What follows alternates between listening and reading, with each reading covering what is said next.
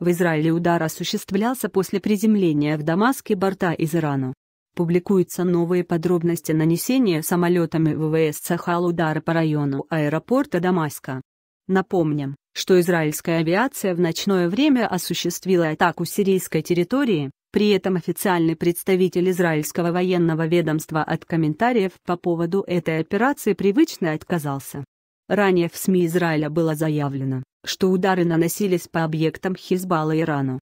В Сирии утверждают, что большинство израильских ракет были перехвачены системами ПВО СААУ, цели достигли авиабомбы GBU-39, которые выпускались самолетами F-16 из воздушного пространства Ливана. В результате атаки ранения получили трое военнослужащих ВС Сирии. Между тем, пресс-служба Цахал публикует заявление официального представителя о том, что 25 декабря с сирийской территории по территории Израиля были выпущены несколько ракет. Для их перехвата пришлось задействовать противоракетные системы. СМИ, системы проотработали из района Хадеры. В израильской прессе появился материал, в котором утверждается, что летчики ВВС Цахал получили приказ на выполнение операции после того, как в аэропорту Дамаска осуществил приземление борт из Ирана.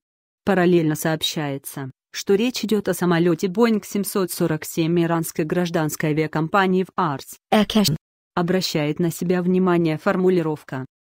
Вероятно, на борту этого самолета с территории Ирана было доставлено военное оборудование и вооружение что-то напоминающее британское с большой долей вероятности.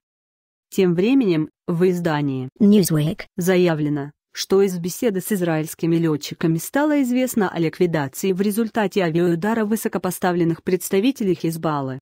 Такого рода заявления уже становятся традицией. Если Израиль наносит удары по Газе, то все подвергшиеся бомбардировкам объекты объявляются объектами Хамас, а объекты, по которым Израиль наносит удары в Сирии, причисляют исключительно к Хизбалле или к СИР. Удобная риторика.